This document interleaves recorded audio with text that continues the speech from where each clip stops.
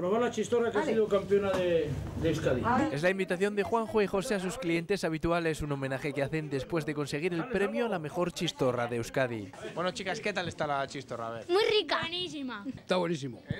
Que vamos, ni pan ni nada, ¿no? Ah, ya he terminado con pan y con todo. Está- Ya conocíais todos, ¿verdad? La chistorra. Las chistorras, las salchichas, conocemos todo de Juanjo. todo. Tiene buena mano, ¿eh? Buenísima. Sus clientes conocen su buena mano y nosotros aprovechamos para que Juanjo nos enseñe cómo elabora la chistorra. Para empezar, lo más importante, la materia prima, ¿no, Juanjo? Sí, sí, aunque parezca un tópico, la carne tiene que parecer que esté viva, que esté recién matada, fresca. Juanjo pica la carne de cerdo, algo que esta semana ha tenido que hacer más que nunca. Desde que os dieron el premio, Juanjo, han subido los encargos, ¿no? De chistorra. Sí, sí, eh, de vender 35, 45 kilos a la semana, pues en esta semana estamos viendo el doble, el doble. Según él, el premio ha llegado gracias a la receta que le enseñaron sus padres y que incluye el pimentón, el ajo y la sal. Hemos visto el pimentón, el ajo con sal y ahora revolver, ¿no? Ahora vamos a echar esto a la, a la carne para que la máquina nos revuelva bien, nos haga la masa. Ahora Juanjo puede producir en mayores cantidades una chistorra que además de por su sabor destaca por su tamaño.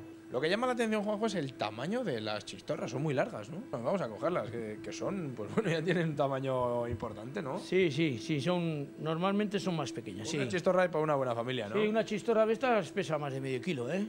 Un tamaño espectacular para una chistorra de premio.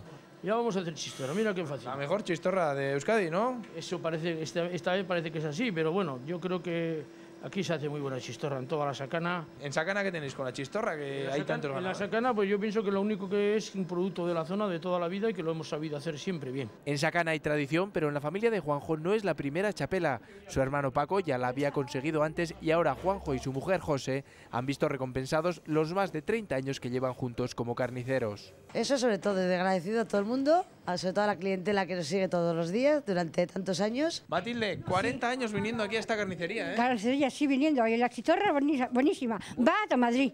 A Madrid. A Madrid. O sea, que la, la chistorra que hace Juanjo usted la manda a Madrid. A Madrid. Pues está claro que la clientela también está muy contenta con ellos y Juanjo y José han querido agradecer su fidelidad con un pequeño aperitivo, cómo no, con la mejor chistorra de Euskadi. Que no queda más que el palillo. Por otra, por otra. Pues